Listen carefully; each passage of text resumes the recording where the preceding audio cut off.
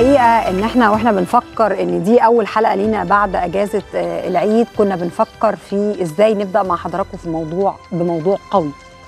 مفيش أقوى ولا أهم من صحة المصريين.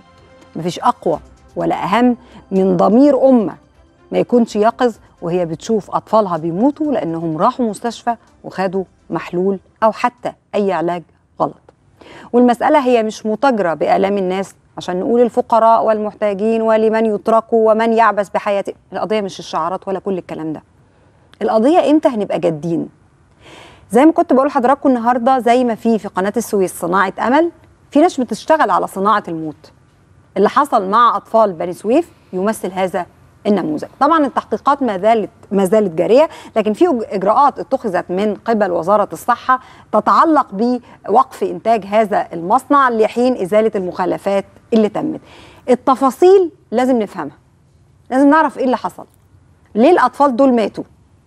ولما الأطفال دول يموتوا يبقى اللي عندهم أطفال عندهم نزلات معوية دلوقتي المفروض يروحوا مستشفيات يعملوا إيه؟ وتحركوا إزاي؟ وإيه الضمان؟ إن الناس دي هتتلقى العلاج اللازم كبني آدمين. لو مش هنحافظ على صحة المصريين وما يبقاش قضيتنا هي الحفاظ على صحة المصريين يبقى إحنا عندنا مشكلة كبيرة. أرجو إن إحنا نخلي النقاش النهارده موضوعيا قدر الإمكان ونكون فيه بنبحث عن حلول أكتر من إننا نكون قاعدين نقطع في جثث بعض التليفونات هتكون موجودة مع حضراتكم على الشاشة لمشاركة حضراتكم معانا. لكن خلوني أرحب بضيوف الأعزاء الدكتور محي الدين إبراهيم نقيب الصيادلة. أهلا وسهلا يا دكتور. أهلا وسهلا بحضرتك المشاهدين. والدكتورة سماح رجب مدير إدارة تسجيل الأدوية بوزارة الصحة. أهلا وسهلا يا دكتور. أهلا بيك. عايز أعرف لأن أنا كل ما كنت ألاقي خبر يتعلق بأزمة بني سويف أحاول أقرأه لكن ما كنتش بوصل لحقائق مطلقة. ممكن حضرتك تفهمني يا دكتور من واقع متابعه حضرتك لأنك نقيب للصيادلة وهذا الأمر يتعلق بدواء. إيه اللي حصل في بني سويف بالظبط؟ بسم الله الرحمن الرحيم. الموضوع بسيط. آه لا هو مش بسيط. لا هو يعني القصة نفسها أنا قصدي إن هي بسيطة مم. لكن آه، فحواها خطير يعني. تم توريد المحاليل لمحافظة بني سويف من شركة. الشركة دي خدت تصريح من وزارة الصحة بإنتاج 80 ألف عبوة من الصنف ده. أنتجت بدون الرجوع لوزارة الصحة وبدون إجراء تحاليل لهذا المنتج أكثر من 400 ألف عبوة. منهم خدوا عينات بعد المشكلة اللي حصلت خدوا عينات ات- كانت الصدمة ان هو مش محلول مع الجفاف. هو طلع جلوكوز 25% الليبل نفسه أو ال ال عبوة من بره. العبوة من بره مكتوب عليها إن هو محلول لمعالجه الجفاف. الطفل عايز محلول في الوريد أملاح. أملاح. لكن للأسف كان بياخد جلوكوز. كان بياخد جلوكوز. فده سبب حالات الوفاة. يعني كمان غشوا في يعني كاتبين حاجة على العبوة والمحلول اللي جوه حاجة تانية. تمام. بالإضافة آه، آه، يعني الم- الموضوع ده كان ظهر فيه أربع حالات. ثم آه، يعني اللي وصلني من الدكتورة آه، مديرة إدارة الصيدله ببني سويف إني أربعة الدكتورة أسماء جلال. أسماء جلال وكنت على اتصال دائم بيها قبل حتى ال- يعني قبل ظهوره اعلاميا بيوم. كان كلمتني وحكت لي القصة بالظبط وإن هي بمجرد إن عرفت الموضوع رابع يوم العيد صدر قرار منها بعدم صرف هذا المحلول. عرفته منين؟ آه، طبعا هي مسؤولة عن المحلول. الدكاترة؟ لا هي ملهاش ان هي تحلل. هي ال ال كل طفل كان يجي ياخد المحلول يتوفى يحصل له حاله وفاة. فطبعا بس هم كانوا أربع حالات وفاة منها حالة كانت مصابة بالتهاب سحائي صحيح. خلاص عادل خالص. في آه، حالة. كانت. لكن آه، الدكتورة بذكائها ال- السريع خدت قرار بإيقاف آه، الصنف. لكن الأمر ده لا يجب إن هو يعدي مرور الكرام ابدا. إحنا المفروض التحقيق من أكبر من وكيل وزارة في بني سويف حتى آخر صيدلي وآخر طبيب اللي هو كان بيلاحظ الحالة واستمر في إعطاء المحلول بدون اتخاذ إجراء أو حتى أنا الاداره عايزة المركزيه أسبق المرحلة اللي حضرتك بتتكلم عليها يا دكتور وهي عدم دخول أصلا هذا المحلول وهذا المنتج ومسألة الرقابة عليه. يعني حضرتك بتقول لي والدكتور طارق سلمان بالمناسبة مساعد وزير الصحة لشؤون الصيدلة قال الكلام ده إن هم قالوا خدوا تصريح يا دكتورة ب 80000 انتجوا 400000 ما هم ينتجوا اللي هم هو عايزينه. رقم التشغيله ده نوع من أنواع الغش.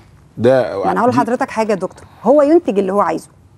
إحنا هو بيقول إن هو أنتج 80 وإحنا اختبرنا ال 80 80 ناخدهم. بقية ال 400 اللي هو أنتجهم ولم يخضع لإشراف وزارة الصحة المصرية. مين اللي سمح له إن منتجاته دي تدخل دون أن يكون هناك تصريح من وزارة ال- الصحة الموضوع المصرية؟ كالآتي. مم. هو بياخد تشغيلة بياخد عينات من التشغيلة بيتم تحليلها. في الإدارة المركزية. بمجرد إن العينة تبقى صالحة بياخد يعني موافقة إن هي تتورد لوزارة الصحة. هو أنتج 80 ألف عبوة. كلهم سلام. اللي هو اسلام حط نفس رقم التشغيله على كل العينات حتى العينات اللي فيها جلوكوز.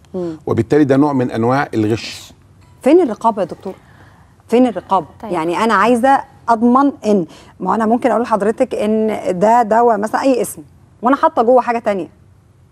حضرتك اللي المفروض تحميني. وزارة الصحة المصرية هي المسؤولة عن هذه المسألة. مش أنا اللي هفتح العبوة واديها معمل تحاليل تتحلل ولا بالمناسبة الطبيب اللي موجود في المستشفى لما يقولوا له إن ده مكتوب عليه إن هو محلول معالجة الجفاف. هذا الطبيب سيستخدمه على ان هو محلول معالجة الجفاف. مش هيبقى عارف إن اللي جوه ده.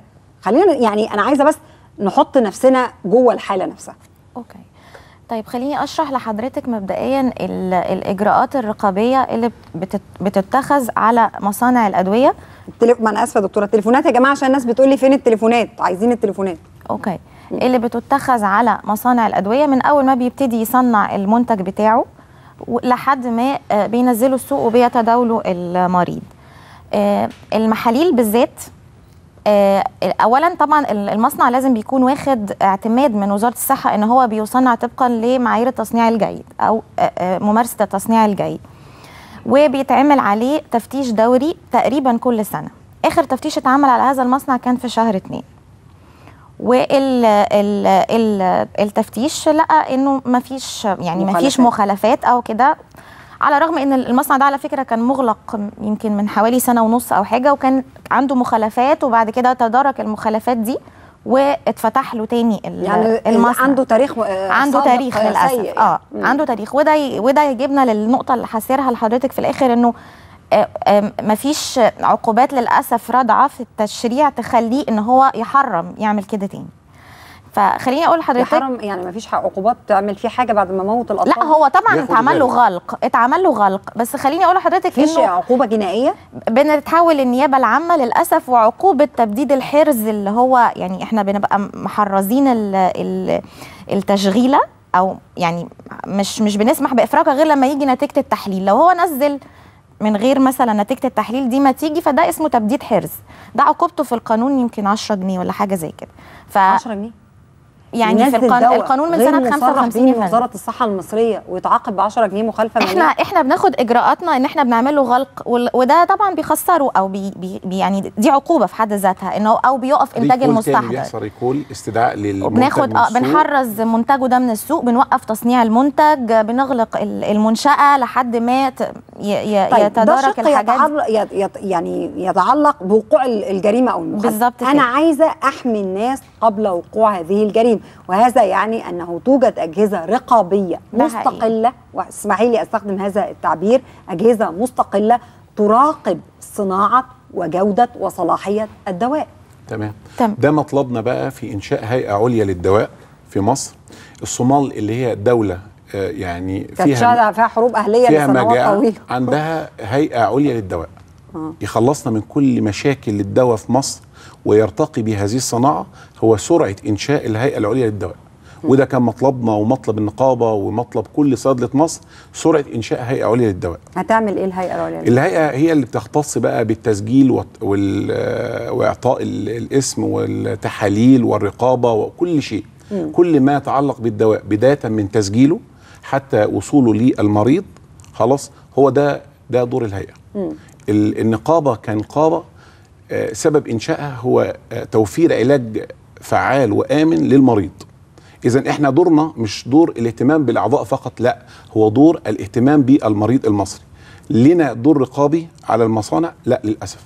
رغم إن إحنا دورنا الأساسي في القانون إن إحنا يكون لنا يعني توفير الدواء الآمن للمريض المصري هو هيقولوا. مساله خلق كيانات موازية يتم التصارع فيما بينها يعني أنا الفكرة. أنا أنا بطالب إن يكون في معامل تحاليل خاصة لإن ال- ال- وزارة الصحة إن كان فيها معامل والمعامل دي فيها قصور الآن فلا بد من توفير معامل خاصة يتم فيها تحليل أي منتج قبل ما ينزل للمريض المصري التشريع ال- هو مش مفترض إن هذه المعامل موجودة داخل وزارة الصحة المصرية؟ آه طبعا دي منشأة بقرار جمهوري وهي وهي المختصة والمعنية بتحليل ال- الأدوية اللي بتنزل للسوق المصري طيب آه، سواء بتاع هيئة سويف ده ما اتحللش لا يا. فندم ال- المفروض المفروض إنه كل التشغيلات المحاليل الوريديه بتتحلل 100% 100%. يعني تمام. كل تشغيلة بيتسحب منها عينة بتروح الهيئة مم. زي ما قلت زي ما سيادة النقيب واضح لحضرتك إنه من الواضح إن الشركة في تلاعب آه، آه، يعني حطت زورت أو حاجة أرقام التشغيلات إيه السبب؟ آه، على السبب ان آه، ان حاجات كل تانية. كل عينة لا بتوديها أنا أقول لحضرتك السبب إيه؟ بتدفع فيها فلوس للتحليل. فهي لا يا عايزة فندم هي كمان في. حاجة. لا هي التشغيل يا فندم بتتحرك هي وهي- بتسحب منها مرة لا، لا، واحدة هي مهما كبر حجمها آه. يعني لا مهما كبر دكتورة، حجمها. هي بتتحرك وهي مطمئنة القلب أنه لن يتم اكتشاف هذه الجريمة. يعني أنا أسفة لما يتم الغش بهذا المستوى ده هم مش خايفين من حاجة. أنا أنا أنا المفروض ان المريض والفقير المصري اللي توجه لمستشفى تبع وزارة الصحة إن هو ينقذ ابنه. فتسبب هذا المحلول. طبعا إحنا لسه في قيد التحقيق. لو المحلول ده ثبت إن فعلا هو سبب وفاة الثلاث أطفال لابد أن يحاكم صاحب المصنع بالقتل العمد مع سبق الإصابة والترصد. وأنا أسفة جدا. ويحاكم أيضا من سمح لصاحب طبعا. هذا. النفس الضعيفة المقصر طبعا. يتلاعب به. ما هو أنا أسفة جدا يا فندم. لو في آليات للمحاسبة والمساءلة سيلتزم الجميع. تمام. يعني دي مسألة ما في يعني أنا آسفة جدا. فين المسؤول عن مرغ... عن رقابة ال... ال... الأدوية؟ فين المسؤول عن متابعتها وصولها لهذه المستشفيات؟ مين اللي مسؤول؟ المسؤول الإدارة المركزية لشؤون الصيدلة التابعة لوزارة الصحة. ما هو ده اللي أنا هتكلم فيه. بس خلونا ناخد بعض الاتصالات عشان في ناس عندها بعض الأسئلة والآراء. معانا مين يا جماعة؟ ألو؟ أستاذ مصطفى من السويس. مساء الخير يا أستاذ مصطفى. مساء النور يا فندم. اتفضل يا فندم. أنا الأول ب يعني بأبدي سلامي على حضرتك والضيوف اللي عندك. أهلا وسهلا بس أنا عايز أعرف يعني عندي سؤال كده بسيط من متابعتي للأحداث اللي فاتت لأن الواحد قلبه موجوع على الأطفال اللي بتموت. يعني أنا واحد من الناس قلبي موجوع على الأطفال اللي بتموت والناس اللي عمالة تموت كل شوية في حوادث كتير إذا كان حريق وإذا كان آه، مركب بتغرق وإحنا بنعدي عليها كإعلام مرور الكرام. يعني إشمعنى الناس دي بالذات بنعدي عليها مرور الكرام كده؟ وأنا من من خلال متابعة يعني متابعه البرنامج حضرتك يعني شايف الاستاذه بتقول إن ال- مفيش قانون رادع ولا أي حاجة تخلي الإنسان ده ما يكررش يعني غلطته تاني وبسمع 10 جنيه غرامة و-. وحاجات غريبة كده يعني أنا أنا عايز أفهم إزاي الكلام ده ممكن يحصل مم. عندك يعني حق. إزاي الكلام ده يحصل؟ وإزاي يتحرك بهذه الثقة ويحط محلول آه، آه، يعني يكتب على العبوه حاجة ويحط جوه حاجة تانية وهو مطمن ويغش بهذه الطريقة دون أن يكون لديه خوف من أن هناك رادع يعني أنا مش هتكلم عن ضميره بقى الوطني ده ضميره مات. يا يا فندم ضميره إيه ده؟ أنا المفروض يعني أنا لو لو لو واحد صاحب قرار أنا أديله إعدام. أنا قلت. للدكتورة كده وده اللي إحنا آه، بنطالب بيه ده- ده أنا دلوقتي. قلت للدكتورة ده موت أطفال، اطفال ده اللي صغيرة. بنطالب يعني بيه. إيه نغلق له مصنع ويعني إيه نعمل له عقوبة مالية وهو مرتكب جناية لا لا عقوبة مالية إيه يا فندم ولا أي ينفع كلام عقوبة مالية عقوبة مالية إيه ده أنا- أنا سامع دلوقتي من شوية إن آه، السيد المحافظ بني سويف قرر صرف 20000 آه، ألف جنيه. آه، تعويض لل- للأطفال يعني أنا معلش يعني أي حد كده من اللي موجود عند حضرتك في الاستوديو عنده طفل صغير عنده ثلاث سنين ولا أربع سنين جات له نزلة معوية راح بيه المستشفى. خد محلول غلط ومات. أنا ال 20000 جنيه دول هم اللي هيعوضوني عن طفلي اللي مات. في الآخر يقول لي أصل أنا يعني قفلت خط الإنتاج بتاع ال لا والمصيبه المصيبة إن. هو خد ابنه أو خدت ابنها وراحت مستشفى حكومي. ما راحتش. يعني ده راحت مستشفى حكومي مفترض إن المستشفى الحكومي دي هي المكان الآمن الأمان، بالنسبة آه، لها. أمان. تروح فين؟ أنا بشكرك يا فندم. خليني أرجع أنا زي ما قلت أنا عايزة الحوار يبقى موضوعي وإيجابي لأن إحنا هنقعد نتحسر ونبكي ألما وأنا متأكدة إن دون مزايدات الجميع يبكي داخليا لهذه ال- المأساة الكبيرة. أنا عايز أعرف الآليات اللي موجودة دلوقتي بتكفل لينا لأن واضح إن في قصور. أين كان قطاع أو الإدارة المركزية للصيادله من هذه المخالفات واللي هي ممكن ده ده اللي إحنا اكتشفناه. حاجات تانية ممكن ما نكونش اكتشفناها فين الرقابة اللي بتتم؟ زي ما قلت لحضرتك ال- الإدارة بت بت بت ليها دور رقابي على المصنع نفسه. وبعد كده آه، عن طريق مديريات الصحة بال- بالمحافظات بيبقى في التفتيش الصيدلي بمديريات الصحة بيتابع المنتج بعد ما بيطلع من المصنع لحد ما بيتورد سواء للأماكن التوزيع أو للمخازن بتاعة وزارة الصحة. بس التحاليل وال- والحاجات التح- دي مركزية يعني في ال- في- التحليل في وزارة التحليل الصحة بيتم نفسها. آه صحيح. بيتم في الهيئة القومية للرقابة والبحوث الدوائية. فإحنا عندنا إحنا عندنا كذا حلقة في الرقابة. أول حاجة الرقابة على المصنع نفسه اللي هي من التفتيش الصيدلي في الإدارة المركزية آه، للشؤون الصيدلية. بعد كده التحليل في الهيئة. هيئة الرقابة الدوائية. بعد كده الإفراج عن طريق برضو الإدارة المركزية بناء على نتائج التحليل ال- ال- ال- اللي بتصدر. بعد كده هو بيتورد لمخازن المديرية ومخازن مديريات الشؤون الصحية اللي بتورد لمستشفيات وزارة الصحة. في ناس مسؤولين عن آه، استلام الحاجات دي. في إجراءات لاستلام الحاجات دي لازم يفحص ويتأكد إنه هي اتاخد منها عينات وإنها راحت المعامل وإنها اتحللت. كل دي إجراءات رقابية. في طرق تخزين لازم تتبع علشان ما هو ممكن ما مع كامل يبص. احترامي يا دكتورة؟ آه. ولا مرحلة من دول تمت؟ لا هو هو لحد دلوقتي؟ هو لحد دلوقتي التحقيق ما وصلش فين القصور في أنهي في أنهي مرحلة؟ اتصنع لمحافظة بني سويف؟ لا هو ده اللي أنا بقوله لا، للدكتورة لا. إن هو بيتم الصناعة مركزيا ويتم التوزيع لا مركزي على المحافظات وعلى المستشفيات وعلى الهيئات. يعني ما هو لا أنا عشان بس حضرتك بتقولي لي آه لسه ما شفناش من التحقيقات لسه ما شفناش إيه؟ لا، هو, هو- لما حضراتكم تلاقوا نتيجة التحليل إنه عامل على العبوه إن ده محلول معالجة الجفاف وجوه العبوة في آه جلوكوز دي مسألة بقى يعني ما حدش الطفل مش محتاج جلوكوز محتاج محتاج لا لا يا. فندم أنا سؤال أنا مأساتي أكبر. دي دخلت إزاي على إنها ما حدش اختبر هذه العينات من المحاليل؟ ما حدش اختبرها. ما, ما أنا قلت لحضرتك هي أكيد اتحللت. الدكتور بيقول لي الدكتورة بذكائها شافت إن في واحد مات. ده كويس إن هي إيه؟ إن هي فطنت بسرعة يا فندم دي مالهاش علاقة بالذكاء. لا. لا ده هي اختارت بسرعة الإدارة المركزية إن في حالات عندها. يا دكتور حضرتك قايل لي إن دي فيها مية. تمام. أنا شربتها لقيتها شاي مش مية. يبقى هي الحكاية مالهاش علاقة بالذكاء. ده أنا علاقة يعني- أنه لم يتم اختبار هذه العينات وفقا للمراحل اللي الدكتورة الفاضلة بتقول عليها. خليني خليني بس أوضح لحضرتك حاجة. هو أكيد في طبعا إجراءات رقابية في كل العالم ومهما كانت الإجراءات الرقابية لازم هيكون في مخالفين. هي الفكرة كلها إيه؟ المخالف ده بيتعمل فيه إيه؟ آه، إحنا يعني كذا مرة المخالف ده بيتعمل فيه إيه بعد ما يعمل مخالفة؟ لا يعني ما هو تمام. أنا بقول لا أنا مش لحضرتك يتعمل أنا مش قضيتي دلوقتي يتعمل إيه. حضرتك بتقولي في قانون هينظم هذه المسألة وفي نقابة هتشتغل عن إنها تطالب بهيئة دواء مستقلة للدواء. أنا بكلم حضرتك على المراحل التي تسبق هذا الأمر والمتعلقة بعدم وصول هذا الدواء الفاسد للمريض. ما كي أنا يعني كيف سمح باستقبال عي... يعني تشغيلات؟ التشغيلة دي راحت لل أنا بسال حضرتك فين. فين حضرتك شرحتي لي أكتر من ست مراحل.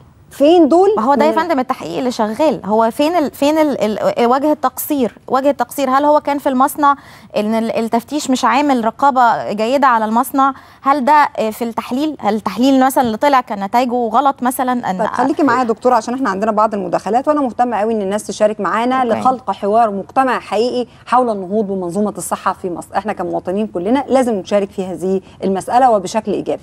معانا أستاذة إيمان من الأقصر. اتفضلي يا أستاذة إيمان. السلام عليكم. عليكم السلام يا فندم. بص يا فندم أنا بعرف أشارك معاكي في البرنامج لأني أنا في مصيبة. باللي بتحكوا فيه ده. اتفضلي. أنا إيه ولدي وبنتي ماتوا. ستة سبع ولاد ولدي وبنتي ماتوا بسبب الدكاترة. مفيش حضانات عيالي ماتوا. ولدي وبنتي ماتوا أنا ليا 15 سنة ما خلفتش. عملت عملية حقن مجاري كلفتني يا عمري كله فلوس. 15 سنة وأنا أحوش فيها. ابني وولدي وبنتي ماتوا. بسبب الدكاترة والإهمال أنا بناشد الرئيس. في إهمال في البلد حرام عليكم. حرام عليكم إحنا غلابة. البلد دي جاي على الغلابة والله. والله العظيم ما يرضي ربنا. يا ناس حرام عليكم. يرضي مين؟ اللي حصلنا دياتي. أنا ام قلبي اتحرق على ولدي وبنتي. ولدي وبنتي ميت- ماتوا بعد ثمان أيام من ولادي. عشان مش لاقيين حضانات. دخلتهم حضانة خاصة اليوم ب 1000 جنيه. وأنا مش لاقية جنيه آكل بيه. مش لاقي حضانات دخلتهم حضانه عند الدلال في البياضية في الأقصر. بياخد في اليوم 1000 جنيه على التوأم و3000 تحت الحساب. يرضي مين ده؟ يرضي مين في البلد؟ ما فيش حضانات في الآخر عيالي يموتوا. يرضي مين؟ أنا جوزي شغال أرزقي بشيل رملة وطوب وأنا عشان أعمل عملية بشتغل على الكوفرات قال لي اغسل فساتين اغسل فساتين في الكوفرات عيالي ماتوا عيالي ماتوا مني. في الدولة العباسية أقول لمين يا ربي أقول لمين على اللي فيه. عيالي ماتوا مني. بيتعب له صدر اللي ادفع فلوس محضرات ب 1000 جنيه طلعته. إيه يا ربي على اللي فيه دلوقتي عملت حاجة مجاري عملت حاجة مجاري دفعت لي عمري كله فلوس خمس سنين أنا ألف على الكوفرات عشان أغسل الفساتين. وآخد على رقبتي أغسل في الفساتين وأغسل في الكاسات على 10 جنيه آخر اليوم. امي وابويا غايبين سنين 16 سنه 16 سنه قلت عايز اعيش زي الناس عايز اعيش زي الناس يا رب يكون معايا عيل مش بخلف أنا صدقت عملت العملية ونجحت صدقت العملية نجحت واي وي على عيال البابي ولا جات محمد يا ربي اعمل يا ربي حمدي ولا يا ربي بناشد الرئيس بناشد النائب العام بناشد النائب العام يوقف مع أنا عايزه تحقيق كان في دكتور جوزي راح له. قال له الله يخليك يا بنت عيش فلوس في الحضانات كل يوم 1000 جنيه. الله يخليك. أنا في خراطيم من بطني. ووالده كنت ارزم أنا أروح ارمى على عيالي. أنا كنت ارمى على ولدي ولدي وبنتي اللي عملتهم بالحقن المجاري مرتين أعملها. مرتين جوزي بيشيل رمله وطوب يا ربي مدام والله إيمان. عيالي ماتوا. عيالي ماتوا. مدام إيمان أنا أنا أنا مش قادرة اقطعك ومش قادرة أكلمك. واللي أنت بتقوليه بيهز مشاعرنا كلنا ويعني لا لا أنا ما كملتلكيش. جوزي راح للدكتور. جوزي راح للدكتور في الم- في مستشفى البياضيه دخلها في حضانة عادية غير الحضانة اللي هو عايزها. فمات بسبب دكتور. أنا بناشد النائب العام والرئيس. أنا عيالي ماتوا. أنا عيالي ماتوا. صدق ما نجحت صدق ما نجحت أنا مش بخلف. أنا مش بخلف. ليه 15 سنه أنا لازم الرئيس يوقف ويحقق في الموضوع والنائب العام. ناس حرام عليكم اشتغل تاني. أنا قربت اشحن عشان أعمل عملية تاني بعد كده. يا ناس حرام عليكم وقفوا معايا. عيالي ماتوا عيالي ماتوا وبنتي ماتوا طب اهدي يا مدام إيمان و... و... مدام مين إيمان. يسمعني. أنا عايزه حد يوقف معايا. إحنا معاكي. إحنا معاكي إحنا معاكي أرجو إن أنا عارفة ان إن ألمك فظيع. اسمعيني اسمعيني. اتفضلي. أنا عارفة إن الألم اللي جواكي وأرجوكي يعني إحنا فعلا والله كلنا يعني في حاله دلوقتي وأنا متأكدة إن كل الناس اللي بتسمعنا دلوقتي. أنا بس هستاذن 37 سنة أنا يا ابله يا ابله الله يخليكي سني 37 رب سنة. ربنا يعوضك خير و- و- و- واحتسبي عند ربنا. ربنا ما بيضيعش حق ربنا حد. يعوضك إن شاء ربنا إن شاء الله يعوضك. خير. بس أرجوكي تهدي وأنا تسمحي لي بس إن حضرتك تسيبي رقم تليفونك دلوقتي بعد ما نقفل معاكي على طول. آه، زميل أحمد وزميل عبد الوهاب يا ريت تاخدوا رقم مدام إيمان. وأرجوكي تنتظري مني مكالمة بكرة صباحا يا مدام إيمان. مدام إيمان حضرتك سامعاني؟ أرجوكي ترجعي تتصلي تاني وتسيبي رقمك وإحنا معاكي كلنا. وهنساندك ومش هنسيب حقك. وهنشوف إزاي نقدر نساعد لتخفيف آلامك والمأساة اللي انت فيها. أرجوكي تتصلي تاني وتسيبي الرقم لزملائي في آه، خدوا رقمها. طيب تمام. انتظري حضرتك مني بكرة إن شاء الله مكالمة وربنا يقدم الخير إن شاء الله. معانا مين يا جماعة؟ أستاذ سمير من الشرقية. اتفضل يا أستاذ سمير. الأستاذة رشا نبيل تحياتي ليكي وتحياتي لضيوفك الكرام وتحياتي للسادة المشاهدين. أهلا وسهلا. أنا بعتذر ليك يا أستاذة رشا عن عدم وجودي في المداخلات التلفونية معك عبر برنامج كلام تاني لأنني طبعا كنت في أيام سيئة ماضية آه، بعد وفاة آه، القارئ بالإذاعة والتلفزيون الخالي الحاج السيد متولي عبد العال. على البقاء لله. اتفضل يا أستاذ أقول لك يا أستاذة رشا بكيت عندما بكيت المرأة منذ قليل. عايز أقول لك إني آه، لا تعليق على أحكام القضاء. متى يبدأ مجلس النواب؟ لإعادة تشريع هذه القوانين. كثرت جرائم القتل لعدم وجود أحكام رادعة والمجني عليه هو الضحية. صحيح. من هذه القوانين ننتظر مجلس النواب لإعادة تشريع هذه القوانين ليكون الحكم رادع إلى من تسوي نفسه بارتكاب جريمة لتقل هذه الجرائم في مصر. لو حدثت هذه الجرائم في دولة أخرى لأقيل وزير الصحة وأقيلت الحكومة. عايز أقول لك إن الخطير في المستشفيات ليست الشرقية فقط ولكن في جميع محافظات القاهرة. عايز أقول لك معاملة سيئة من الأطباء للمرضى في المستشفيات. عدم وجود عناية مركزة عدم وجود حضانات عدم توافر أدوية في المستشفيات. ودائما الصيادله يعطوننا أدوية خطأ للمرضى، أين المسؤولين؟ أين المسؤولين من هذا؟ أنا عايز أقول لك يا أستاذ هي الحقيقة كمان القضية كمان مسألة مش مسألة أشخاص ما إحنا ممكن نشيل فلان ونجيب فلان وتبقى المنظومة كما هي ولا يتم وجود نظام أو سيستم للمحاسبة والمساءلة والمراقبة والمتابعة. هو ده اللي هيخلق. ولو إحنا نجحنا إن إحنا نعمل ده دلوقتي ده هيكون إنقاذ كبير وبداية حقيقية بنقول فيها كلام تاني. لأن الحقيقة أنا مقتنعة إن المسألة مش أشخاص. شلنا فلان جبنا فلان حطينا مش عارفة مين حاو... هي القضية إزاي ننشئ آليات أو أمن أمن أمن دوائي قومي. مظبوط. لأن الأمن الدوائي القومي دلوقتي أصبح في خطر. زي ما أنا بعيد واكرر تاني إن كل دولة يعني أنا مستغرب إن مصر دولة زي مصر بقوة مصر ما فيهاش مصنع لإنتاج مواد خام ما فيهاش مصنع لإنتاج ألبان ما فيهاش رقابة جيدة على الدواء إن حتى التشغيلة اللي راحت بني سويف أقل شيء إن التشغيلة دي يتم إيقاف تسليمها للمحافظة لحين الانتهاء من تحليلها. لو كان فعلا في جهاز رقابي قوي كان وقف تسليم التشغيلة دي لباقي محافظه بني سويف إلا لما تطلع النتيجة بالإيجاب. النتيجة سليمة أسلمها للمحافظه أنا لا يعني لا أنكر. على فكرة زي ما الدكتورة سعاد قالت إن التحاليل بتتم تحليلها 100% يعني ما فيش بقى زي يعني عي- عينات من تشغيله ما هو معينه هي لو 100% كانت لازم تتحلل 100% ما كانتش ابدا راحت بني سويف بال... بالشكل المؤسف النقابة. وأنا والله أعلم هي راحت وأنا بني سويف أنا وإيه كمان؟ أنا من يعني- موقفي وموقعي كنقيب لصيدله مصر أنا بأطالب بسرعة التحقيق في هذا الأمر وإن النقابة وان لا تحقيق وإن النقابة لن تتهاون. حياة المواطن المصري دي في رقبتي قبل رقبة أي حد. رقبت رقب يعني حياة المصري وتوصيل دواء آمن وفعال هي المعني بها نقابة الصيادلة. المراقبة على المصانع والمراقبة على الج- لا والمعني بيها كمان الأجهزة الرقابية. أيضا. يعني الأجهزة. يعني هذا الوزير في هذا الموقع وهذه الوزارة والمسؤولين فيها هم المسؤولون. إحنا إحنا كمواطنين هم دول مسؤولين قدامنا. طبعا. يعني هذه مسؤولية الحقيقة مشتركة وإحنا في انتظار مش كل مرة يحصل نفس المسألة. آه، مش عارفة إقالة زي اللي حصل في الوراق مش عارفة إقالة ال- رئيس المسطحات المائية ولا إقالة آه، رئيس تسكين. قطاع النقل نوع من أنواع النهري. إحنا زي ما حضرتك قلتي في مراحل معينة. أنا عندي عايزه أمشي زي ما الكتاب قال عشان أشوف أنهي مرحلة اللي تم فيها القصور. مين اللي سا... أنا اسف أنا اعتقادي الشخصي وفقا للم- للمراحل اللي حضرتك بتقولي عليها ولا مرحلة من دول تم. لأن لو كانت تمت الأولى كان الثاني مش هيروح لأنه خلاص الأولى وقفوا.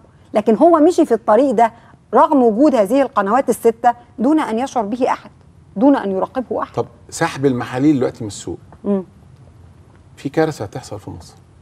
ان مفيش محاليل في المستشفيات.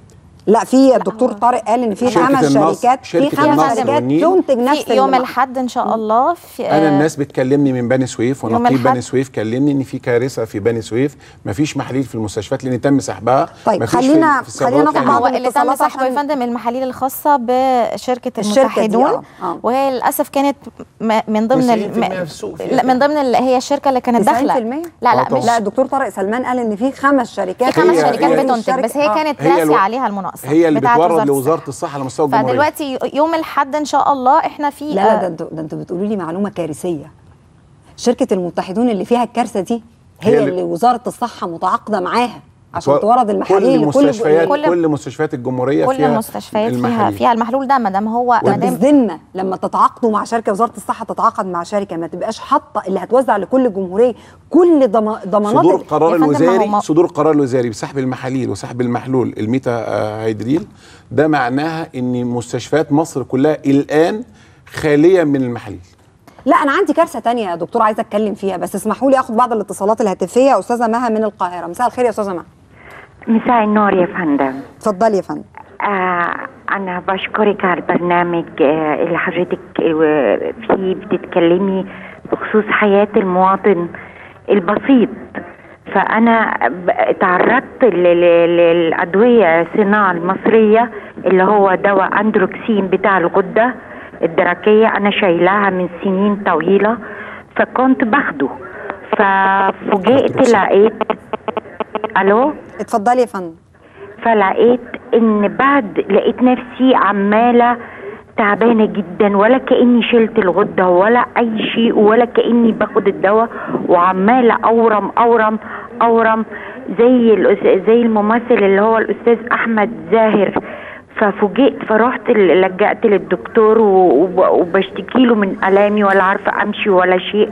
فراح قايل لي تعملي تحاليل. لما عملت التحاليل لقيتها عالية جدا فالدكتور قال لي آه، آه، كل الأضرار دي مش هنعالج كل ده فهنخلينا في معالجة الغدة لمدة شهر وبعدين تعيدي تاني. ده نتيجة الدواء ده يا مدام مها أيوه ده نتيجة الخلاصة. أنا باخده بقولها بقالي سنين وكنت إرهاق و... وتعب وبحتضر بموت. وعلى طول متنرفزة وعلى طول مش مش طايقة نفسي. يعني الموت أهون عليا. فلقيت الدكتور قال لي انت بتاخدي جرعة قد إيه؟ قلت له 150 فرد قال لي بتاخدي ال- المصري. قلت له ما أعرفش يا دكتور أنا بطلبه من الصيدلة وبيديهولي هو ده اللي عنده. فرد قال لي لا.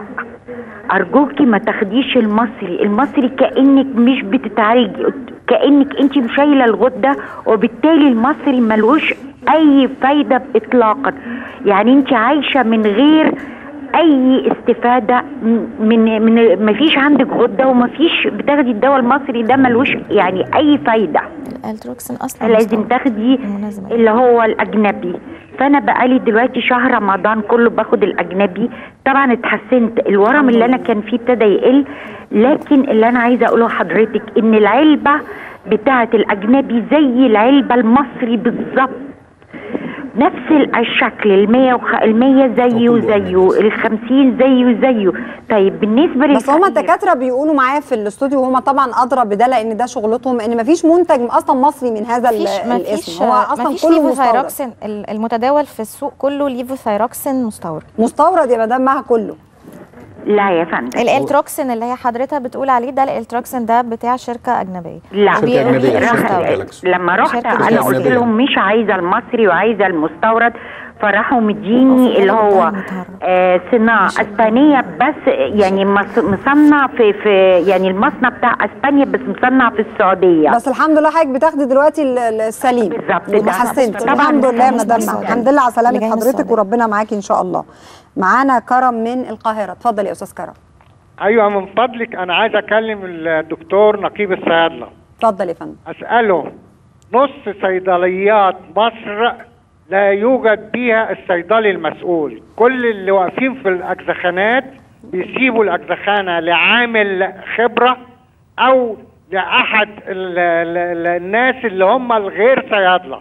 أين الرقابة الصيدلية على الصيدليات في مصر. ده سؤال مهم جدا. بشكر حضرتك عليه يا أستاذ كرم. فعلا في عدد كبير جدا من الصيدليات ما بيبقاش فيها أطباء آه، صيادلة موجودين وبقى فيها عدد من الفنيين أو العاملين. هو اللي بتدي له روشتة بيطلع لك آه، الدواء أو ممكن يروحوا له أهالينا يقولوا عندي صداع عندي إحنا في النقابه. أنشأنا لجنة تسمى لجنة محاربة الدخلاء. دورها أصلا المعني بها وهي محاربة كل دخيل على المهنة. بالتنسيق مع إدارة التفتيش أي شخص. هي مش م- مش مسألة محاربه دخلاء ده هو الدكتور صاحب الصيدلية هو اللي بيعين موظفين في الصيدلية غير أطباء. ال... أي حد بيقف في صيدليه مش صيدلي أصلا لا يجوز له ان هو يزاول المهنه طب وحضرتك ده ده ده ده, ده إدارة التفتيش. أي التفتيش دائم يا فندم يعني ده إحنا لو بس- نزلنا كل يعني- الصيدليات هنلاقي كل اللي فيها يعني ممكن يبقى فيه طبيب بس اللي موجودين كلهم وبيشتغلوا هم عاملين وليسوا لا هو مساعد صيدلي في وجود الصيدلي يعني إحنا يعني دايما هنقول مثلا 90% من صيدليات مصر فيها صيادلة تمام وأي مريض لا في صيدليات كتيرة جدا خلاص المريض ما يجيبش منه آه. ما هو يعمل بسيط. إيه المريض؟ ما في يعني صيدليات لو تانية في مريض في. قرية وقدامه صيدلية وراح الصيدلية فيها الراجل الموظف اللي بيشتغل في الصيدلية اداله روشتة وقال له بطني بتوجعني أو راسي بتوجعني واداله دواء يعمل إيه؟ مبدئيا يا فندم هو دي مخالفة للقانون. يعني القانون بيلزم إن لازم اللي اللي يكون آه، الصيدلية يتواجد فيها يمتهن الصيدلي صيدلي اللي يمتهن. يعني أنا مثلا أروح ف- بقى أسأل اللي واقف ده أنت دكتور؟ فيقول لي أه طب اديني ما يثبت إنك أنت ان دكتور. النقابة معنية بهذا الأمر وإن شاء الله إحنا في طريقنا إن إحنا الطبيب الصيدلي هيلبس البلطو هيبقى في شعار مكتوب من النقابة العامة مكتوب فيها آه، ان آه، في اسمه كل وبيانات أنحاء الجمهورية يا فندم في. وجه بحري في وجه إيه؟ والمريض اللي يتضرر المفروض المريض اللي يتضرر من آه إنه آه ما فيش صيدلي في الصيدلية من. فضلك بلغ عن هذه الصيدلية بلغ. طيب أنا بس لأن إحنا عايزه عندنا 60 ألف صيدلية مسجلة مظبوط. أنا بس- مستحيل إنه آه، هتبقى أنا عايزة يعني هترصد معلومة كل الصيدليات أنا مش قادرة أنساها هذه الشركة هي اللي تم آه، يعني رسى عليها العرض أو المناقصة خليني خليني بس يعني آه خليني أرجع للنقطة دي تاني مع حضرتك و- وقصة الإجراءات الرقابية. في إجراءات رقابية في إجراءات رقابية.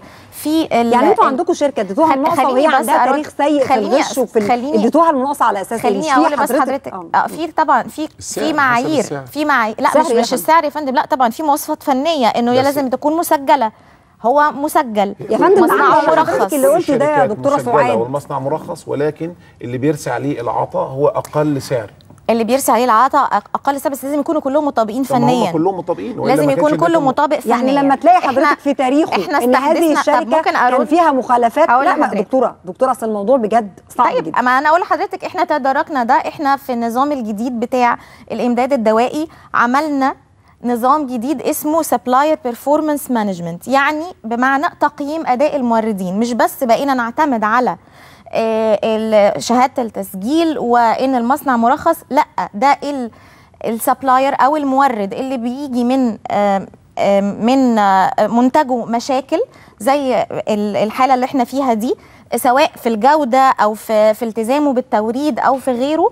مش هناخد منه المرة الجاية. وده نظام مستحدث لسه بيطبق من أول مناقصة السنة دي. المناقصة دي ولا طبقتوا لا يا فندم؟ المناقصة دي كانت من سنتين أصلا.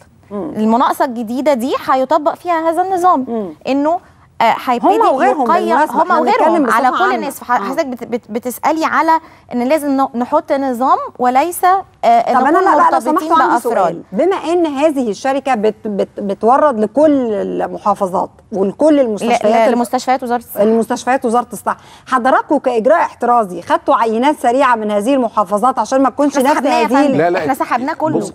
هو اتسحب كله. ما بقاش. فيه دلوقتي من هذا المحلول في آه، مستشفى في وزارة الصحة لا، ولا مركز في وزارة طيب دلوقتي ادام طب كويس ده خبر عشان الناس اللي لا كانت ده من اول. ده من أول ساعة سحب من أول كل دقيقه كل كل ال- كميات كل المحاليل ال- دي اللي موجوده وتم في وقف. إنتاج إذا كان.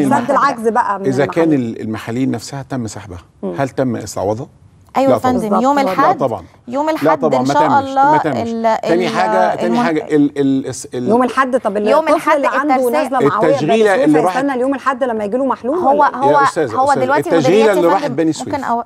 التشغيله راحت بني سويف هل تم تحليلها؟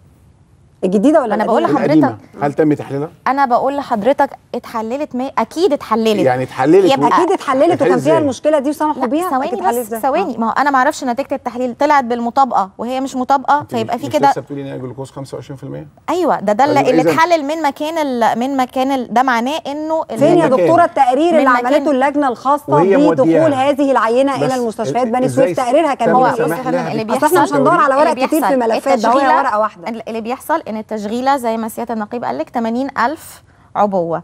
بيروح مفتش الصيدلة أو إدارة الصيدلة بيسحب عينة من ال 80000 عبوة دول بيروحوا المعامل حضرتك يتحللوا قلت لي المحاليل 100% لا 100% يعني كل تشغيلة مش 100% كل يعني. بيحلل ال هم 80000 10 عبوه تشغيلات 10 تشغيلات كل تشغيلة 100% 8 هو بالمناسبة معناها- ما عملش في ال 80 هو عمل في بقية ال 400 اللي باعهم لكم ودخلهم من غير ما تكونوا أنتوا راقبين بالظبط أنا- هو أنا زور عندي في سؤال ال- تاني سؤال تاني مهم دي مش مشكلة وزارة التحليل. الصحة يعني لما ادته تصريح ب 80000 عبوه مش اديته تصريح يا فندم هو تشغيلة، طاقته 80,000. طاقته الإنتاجية 80,000. 80000 ملف تمام. التشغيلات بتاعه؟ مقيد فيه استلمتوا كام 80000 ألف؟ أنتوا استلمتوا 400000 ولا 80000 است...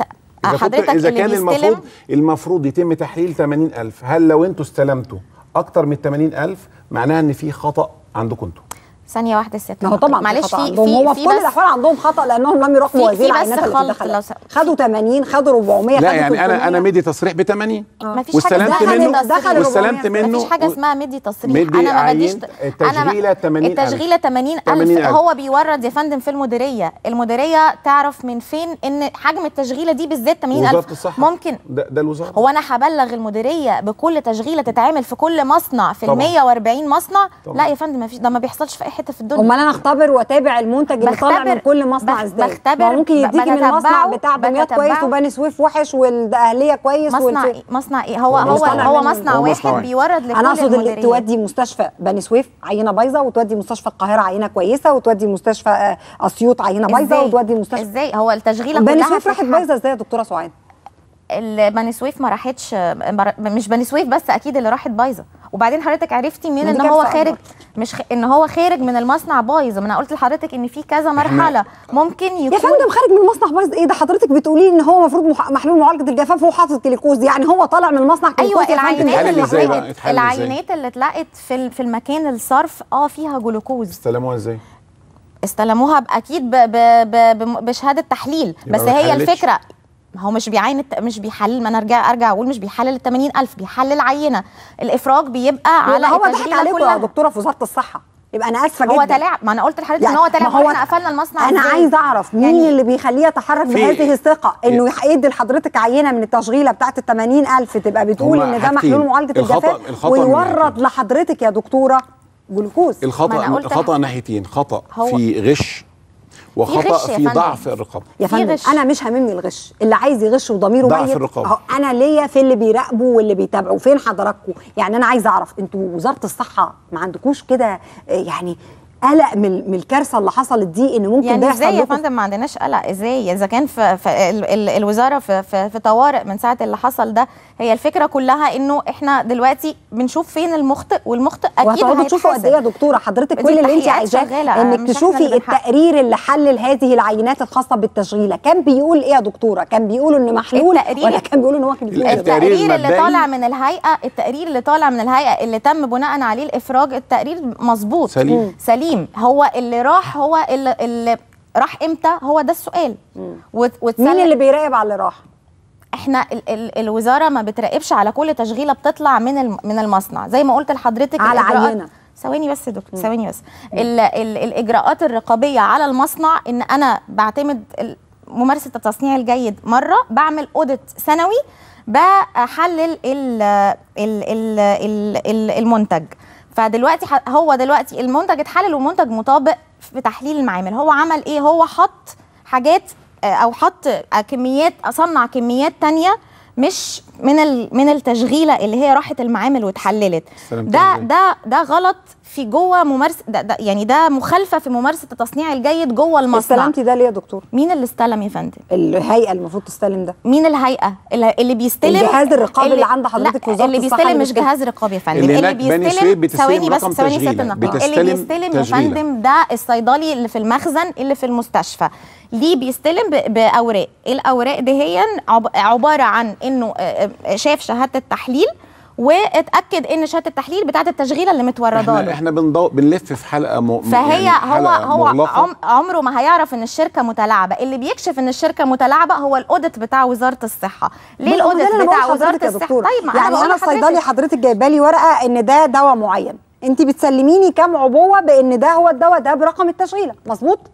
أنا بسأل حضرتك ده حللتوا العينات اللي في التشغيلة. طلعت مطابقة للمواصفات. حضرته ورد لحضراتكم عينات غير مطابقة لا اللي اللي معلش اللي بيراقب على المصنع مختلف خالص عن اللي بيستلم. اللي بيستلم ده خ- ال- أنا أنا أنا ما عنديش. مشكلة مع اللي بيستلم. أنا خليني في اللي طيب ورد ال- ما هو اللي ورد ده هو ورد بالم... يعني هو هو هو حط رقم تشغيلة على حاجات على على حط رقم حط تشغيلة رق- رقم تشغيلة. مطابقة. انت واخد واخد تصريح ب 80000 حط رقم تشغيلة إزاي خدت مطابقة؟ رقم حط التشغيلة رقم على ال- تشغيلة ال مطابقة 400,000؟ على 400000 أنتوا خدتوا كام منه لا أنا ما عنديش حص... ما عنديش الرقم دلوقتي الحصر يعني بال... بال... يعني خدته كام؟ أختبر هو ده السؤال. 80000 أنا عايزة سؤال. أنا بقى اختبرت 80000 كويسين. يا فندم في آه، معايير دكتورة، للسحب. في- دكتورة في دكتورة. في أنا اختبرت 80000 كويسين. ال 80000 يخلوني آخد 400 400000 ولا ما يخلوني أنا ما أعرفش هو الرقم هو الرقم اللي اتورد يا- ثواني بس لا أنا ما حضرتك أعرفش هو حضرتك الدكتور طارق. سلمان قال الرقم كام يا فندم الدكتور طارق سلمان قال 400. الرقم كام قال مظبوط وده 400. رئيس الإدارة المركزية مساعد الوزير لشؤون انتجوا الصيدله 400 آه. انتجوا 400 وردوا. كام. أنا ما أعرفش وردوا كام ما أعرفش يعني طيب ما أعرفش التسجيلات دي بقى اللي بتتم في. الصيدلات الأهلية. انتجوا 400000 آه ده ده اكتشفناه لما رحنا حققنا في الموضوع دخل وزارة الصحة كام ده. الرقم ده مش عندي للأسف لو دخل ده ال مش 80 عندي. يبقى إحنا تمام. مش دخل وزارة الصحة يا فندم آه. دخل آه، المستشفيات. المستشفى ملهاش علاقة خالص دكتورة بالتفتيش هو بيدخل. المستشفيات من الباب الخلفي ولا عبر وزارة الصحة المصرية؟ ع- مش عبر وزارة الصحة. ده رقم واحدة. كمان، حضرتك هو عليها. هو ال- الصيدلي اللي واقف في المستشفى عارف منين إن التشغيلة دي حجمها 80000 تعرفوا، أنتوا اللي إحنا اللي نعرف. هو هيرجع لنا في كل تشغيلة بيستلمها. هو كان مصنع كام؟ علشان آه، آه، يعرف هو بيستلم كام؟ أنا على فكرة. أنا ماليش دعوة بالإستلام. طيب ما هو أنا ما هو اللي- حضرتك أنا اللي استلمتوها إزاي؟ يا 400000 وهو. صنع ت- دكتورة 80000 سعاد يا دكتور خليك معانا. أنا ليا دعوة وزارة الصحة استلمت من هذه الشركة كمية كام؟ ده اللي أنا بسأله. الرقم هي مش الرقم مش أنا معروف أنا دلوقتي. مش عارفة الرقم دلوقتي. ده يبقى بس المفروض حضرتك ضمن بترجعي. تقولي آخد الدكتور. خلينا ناخد الدكتور طارق سلمان على التليفون. الدكتور طارق سلمان مساعد وزير الصحة لشؤون الصيدله مساء الخير يا دكتور. مساء الخير يا فندم. إزاي سعيد حضرتك؟ أهلا وسهلا يا دكتور. أهلا بيك يا فندم. شاكر دكتور ممكن تقول لي حضراتكم استلمتوا من الشركة دي كمية كام من المحلول؟ إحنا اللي فهمته من تصريحات حضرتك ومن الاستوديو الآن إن هم خدوا موافقة على تشغيله ب 80000 وال 80000 دول حضراتكم عملت لهم تحاليل وكانوا صالحين وكله تمام. حضراتكم استلمتوا كام من الشركة دي؟ ما بص يا فندم إحنا ما بنستلمش. إيه إيه يعني إحنا ادينا زي ما يعني فاهم من حضرتك كده إن إحنا هم 10 تشغيلات كل تشغيلة بحوالي 8000 مجموعهم 80000 حضرتك كويس. قلت من شوية إن هو صنع في بيته صنع في المصنع بالليل. إيه إحنا كوزارة إحنا ف- كوزارة ال ال الكميه الزيادة اللي هو صنعها بيوديها مباشرة للموزعين بتوعه. إنما هو الغش فين يا فندم؟ إحنا فوز إحنا كوزارة الموزعين نعرفش. بتوع اللي هم مين؟ اللي هم المستشفيات؟ لا لا لا مش المستشفيات. توزيع شركات شركات التوزيع. توزيع شركات التوزيع. إحنا إيه، يعني هو خد رقم التشغيلة اللي إحنا سمحنا له يصنع بيها 80000 وصنع بيها كمية أكتر بكتير إنما هو ما راحش وردها مباشرة للمستشفيات. هي هذا الرقم حطه عند التوزيع. الوزارة متعاقدة على كمية معينة. إيه إيه هي مش وزارة الصحة بس وفي مستشفيات جامعية وفي صيدليات خاصة وفي مستشفيات كنتوا متعاقدين. على كمية كام يا دكتور طارق؟ يعني إحنا ال- التعاقد اللي خاص بوزاره الصحة لن يزيد بأي حال من الأحوال على 80000 بس أنا أحب برضه أطمن حضرتك وأطمن يعني حضرتك. خدت منه 80000 بس؟ إحنا ما خدناش يا فندم. ده ده تعاقد لمدة سنة ممكن ما نكونش سحبنا لسه ما حتى نكونش سحبناهم. 10000 أو 20000 يا فندم. يعني ده تعاقد مناقصة على هو دخل دخل. دخل الكميات غير الصالحة إزاي للمستشفيات الحكومية يا ما هو دكتور؟ ما هو يا فندم يعني يعني هو مش حكاية دخل إزاي. هو الحاجات دي موجودة في التوزيع بنفس الرقم اللي هو بتواريخ مختلفة. كمان. صح خلاص؟ تشغيلة واحدة نفس رقم الرقم تشغيله واحدة صح يا فندم. مختلفة. نفس التشغيلة. هو الغش جه من هنا إنه واخد نفس التشغيلة الصح وصنع بيها وحط على على كميات زيادة نفس التشغيلة فبتدخل المستشفى بنفس التشغيلة اللي واخدة موافقة. فين المتابعة اللي تمت لده يا دكتور؟ فين الرقابة اللي تمت عليه وهو بيشتغل كل الشغل ده؟ ما هو فين ما هو ده بقى إيه؟ ده التحقيق اللي إحنا شغالين فيه مع ال مع ال مع الإدارة المختصة. إيه بس يعني أنا يعني اسمحي لي إن أنا أقول حاجة مهمة جدا اتفضل. إن في خلال الثلاث أيام اللي فاتوا إحنا على اتصال بجميع الشركات. يمكن حضرتك مشكورة قلتي إن الدكتور طارق صرح وده فعلا في شركات مصرية عندها كمية.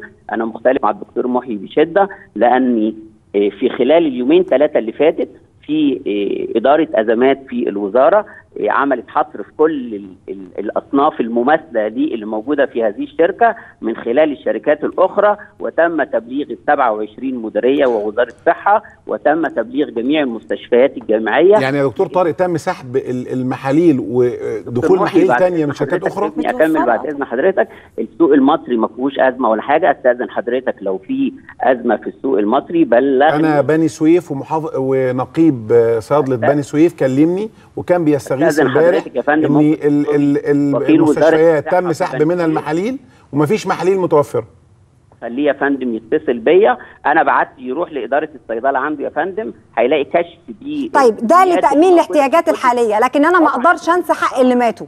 طبعا. اللي ماتوا دول حقهم في رقبتنا كلنا. طبعا يا أرجوك لو سمحت أنا عايزة أعرف لو في إجراءات تم فيها قصور تتعلق بدخول هذه الكميات. يعني هو أنا آسفة جدا هو واصل لمستوى من انعدام الضمير والثقة في نفسه إن ياخد مناقصة وزارة الصحة المصرية وترسى عليه ويحط محلول برقم تشغيلة معينة والمحلول يتكتب عليه من بره إن هو محلول معالجة الجفاف ويبقى جوه كلكوز. يعني ده هو بيتصرف بحرية وبثقة كأن مفيش حد هيتابعه وكأن مفيش حد هيراقبه وكأن مفيش حد هيكتشف الكارثة اللي هو عملها. منين هذه الثقة يا دكتور؟ هو يعي تماما. إن مفيش أيدي قابضة على المسألة. طيب لا يا فندم. بص هقول لحضرتك موضوع الغش يعني موجود في كل العالم. موضوع غش الأدوية ليه نسب محددة في كل العالم؟ النبي يا دكتور ما تقول لي في كل العالم. لا لا لا الغش لا لا لا لا مش الغش. دي قضيه يا لا دكتور نسبة يا الغش دكتور في العالم لو كله. كل العالم ما أنا ممكن أكلمك عن منظومة صحية كويسة قوي للناس وتأمين صحي كويس و... وبرضه العالم فيه كده. يا فندم. ما هو العالم بلاش حكاية في كل الدول فيها كده. من فضلك كلمني عن الواقع اللي إحنا خاصة بيه. ن... نتعامل معاها إزاي؟ طبعاً أنا. متأكدة إن حضرتك بتتألم زينا بالظبط لموت هؤلاء الأطفال. طبعا بس وضميرك الإنساني والمهني لا يقبل بهذه الواقعة. ولا تقبل. وأنت مساعد وزير الصحة لشؤون الصيدلة أن يتم العبث ب... يا على فكرة يا فندم هذا يحمل قدر من الاستهانة بمسؤول الصحة في مصر. ده بيعمل اللي هو عايزه وحاسس ان محدش هيحاسبه ولا حد هيجيبه. لا لا أتفق مع حضرتك أتفق مع حضرتك طبعا. إنما إحنا الحمد لله يعني ب- ب- بن- بنتعلم وبنشوف الآليات إيه. بس برضو أحب أوضح لحضرتك إن طبعا الدكتور عادل عدوي وزير الصحة. إحنا مشكلين لجنة من أساتذة الأطفال عشان تشوف الوضع إيه. سيادة النقيب يمكن بدأ ووكيل وزارة الصحة بني سويف كان في تقريره اللي مبعوث للوزارة بيقول إن في حالتين من الأربعة ما خدوش محلول خالص نهائيا. آه الحالتين اللي الدكتور عادل عدوي قال إن هم نتيجة التحليل التهاب نتيجة آه، الوفاة أو سبب الوفاة. التهاب صحي. فعشان. كده يا فندم يعني كله في صورة تحقيقات. ما نقدرش نجزم إن المحلول هو السبب. في خطأ آه في خطأ. لا يا فندم لا. ده لسه الدكتورة سعاد قايله لنا والدكتور وعي إن في التحاليل بتقول إن هو كاتب على العبوة إن ده محلول معالجة الجفاف وهو فيه جوه كليكوز وبالتالي الطفل محتاج أملاح وحضرتك طبيب وأستاذنا أنا مش طبيبة الطفل محتاج أملاح مش محتاج جلوكوز وبالتالي الطفل كان كده كده هيموت لأنه خد محلول وريدي مفيش فيه أملاح. لا يعني يعني ممكن حضرتك هنرجع لاساتذتنا في الطب الشرعي وأساتذة الأطفال. يقولوا إن محلول. يا فندم يقولوا يقولوا إن دلوقتي الجلوكوز على أسباب الوفاة. ممكن يموت ولا لأ؟ إنما خلينا أنا موضوع يا أنا آسفة يا دكتور. في- طارق دكتور طارق حتى لو ما موتش.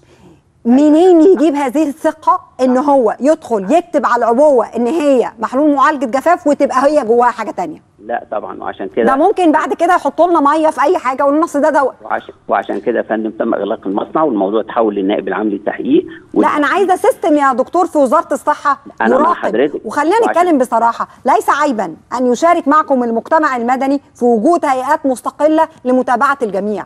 وأظن إن حضراتكم في. وزارة الصحة لن تمانعوا من وجود هذه الهيئات وعشان المستقلة كده يا فندم إيه برضه أنا بشكر المواطن إن قال الغرامة 10 جنيه الان يتم تغليظ العقوبات لأن وقعه زي دي في تغليظ العقوبات اللي مطروح دلوقتي في الاصلاح التشريعي يؤكد أو يوصلنا إن هو ياخد إحنا حكم يعني في, في صدد. تعديل القانون آه. ان ألغش الدو الدوائي تصل عقوبته إلى بدل ما هي جنحة بقت جناية ويعاقب عنها بقتل العبد حضراتكم مهتمين بهذه النقاط وهي نقاط مهمة بس مع كامل احترامي مع الدكتور أنا مهتمية بنقطة. تانية عدم وصول هذا الدواء غير الصالح أنا مش عايزاه يمر أصلا يعني مش طبعاً. عايزة من تسول له نفسه إحنا شغالين. على المنظومة الرقابية وبنطور المنظومة الرقابية إحنا ما بنقولش إن إحنا بيرفكت بس إحنا شغالين على المنظومة الرقابية لكن هيفضل في مخطئ وطول ما ما فيش عقاب رادع للمخطئ هيفضل ي... لا لا يعني هيفضل يسيء ال... دكتورة سعاد ودكتور طارق دكتورة معانا على سماح. التليفون دكتورة سماح ودكتور آه، طارق وأنتم معانا على التليفون لما سمعتوا عن هذه الواقعة ولقيتوا نتائج التحاليل بتقول إن هو حاطط آه، جلوكوز بدل ما يحط محلول معالجة الجفاف. حضرتك. كطبيبة صيدلية كده ما, ما قلتيش إيه الجبروت ده؟ إزاي ده يحصل وإحنا موجودين؟ فين الرقابة. إحنا إزاي سمحنا بده؟ إحنا إزاي لم نراقب؟ ده ده ضمير حضرتك كطبيبة بقى. وأنا لا أزايد على حضرتك ولا على الدكتور طارق ولا على الدكتور عادل عدوي لأن أنا أعرف إن كلكم مصريين ووطنيين ولا تقبلوا بهذا الأمر. يعني زي- أحب أطمن حضرتك بس يا فندم معلش بعد إذنك إن إحنا ال- الإجراء اللي خدناه بإغلاق المصنع مباشرة والتحفظ على كل المستحضرات تم قبل ظهور نتيجة المطابقة الايه العينات. يعني إحنا كان عندنا في سرعة خلال يشكروا عليها. في خلال يا فندم يعني في سرعة جدا وفي رد فعل كبير جدا لما حدث. بقول لحضرتك الإجراءات اللي طلعت من الوزارة كانت إجراءات في في, في الوقت ده قوية. قبل صدور التقارير من هيئة الرقابة الدوائيه ومش معنى إن في شركة خدت مناقصة دواء إن هي تتساب بقى تعمل اللي عايزاه. ما هو ده اللي أنا قلته لحضرتك. آه يعني مش معنى إن هي خدت. وهي تاريخها سيء. يعني نفحص بقى مين اللي بنديلهم منح شركة المناقصات واحدة بس مناقصة والمسألة مش. السعر المتميز ولا إن هي عندها ترخيص ولا إن هي موجودة. المسألة تاريخها وسمعتها وإزاي نراقبها بعد ما ما يتم إن ال- ال- ال- المناقصه رسيت عليها. نفضل طول الوقت نتابع. لو إحنا فضلنا في عين طول عشان كده بقول لحضراتكم إن حضراتكم في وزارة الصحة ممكن جه- جهات مستقلة من المجتمع المدني تشارك معكم في هذا إحنا الأمر. عندنا عشان عندنا شركات قطاع الأعمال بتنتج زي شركة النصر وشركة النيل المفروض الاستعانة بشركات قطاع الأعمال اللي هي هتبقى حريصة أصلا ده يعني شركات الدولة شركات مملوكه للدولة زي ش... زي شركة النيل أنا. هفضل نتابع هذا الأمر وهنفضل نتابع المنظومة اللي حضرتك بتقولي لنا عليها دكتورة سعاد إن بيتم دكتورة سماح ان يتم تطوير هذه آه، المنظومة دكتور طارق هنتابع مع حضرتك التحقيق وأرجو إن إحنا جميعا نمتلك الشجاعة لما يكون في قناة معينة قصرت في هذا الأمر نطلع ونقول للرأي العام أن التقصير كان في هذه الجهة وليس عيبا. زي ما بنقول إن الغش بيحصل في كل دول العالم التقصير برضه بيحصل في إدارات كتيرة في دول العالم. ال- الغش في الدوائي فعلا يعني من 6 ل 10% في أي دولة ودي حاجة حاجة ثابتة عالميا. لكن إنشاء زي ما بكرر تاني إنشاء هيئة عليا للدواء المصري بسرعة هي المنقذ الوحيد حضراتكم اتحركوا في النقابة و- الحماية للأمن الدوائي ال- القومي. أنا بشكر حضرتك الدكتور محي الدين إبراهيم نقيب الصيادلة والدكتورة سماح رجب مدير إدارة تسجيل الأدوية لوزارة الصحة. وأرجو يعني إن كنتوا تقبلوا اعتذاري على الانفعال الشديد لأن حضراتكم أنا متأكدة إن دول ولادنا. يعني داخليا. جواكوا انفعال أكبر من ده بكتير. وأنا دايما ما بحبش آه، نتكلم بشكل يحمل نوع من المزايدة على حد أو يعني حضرتك أكيد بتشتغلي وبتقومي بواجبك دكتور طارق دكتور عادل دكتور محي. بس الحقيقة إن إحنا محتاجين نشتغل بشكل مختلف طالما عندنا مجرمين من هذا النوع. لازم إحنا نبقى أقوى منهم ونتحرك بشكل مختلف. زي ما هم بيصنعوا الموت إحنا نصنع القوة للتصدي. إحنا عندنا مشروع تاني في نهاية الكلام مم. المشروع ده هو تغليظ عقوبة الغش الدوائي ده القانون بتضعه آه، نقابة الصيادله بالاشتراك مع وزارة الصحة لتغليظ عقوبة الغش الدوائي ليصل إلى غلظوها الإعدام. واشتغلوا على. رقابة لا، لا، قبل أن يصلوا إلى مراحل الغش. بشكر حضراتكم نورتونا النهارده. بعد الفاصل هيكون معانا الدكتور محمد المهدي أستاذ الطب النفسي في فقرتنا الاجتماعية الثابتة. هنتكلم عن موضوع شديد الأهمية أعتقد بالنسبة لناس كثيره فينا في هذه المرحلة التوازن النفسي. بعد الفاصل.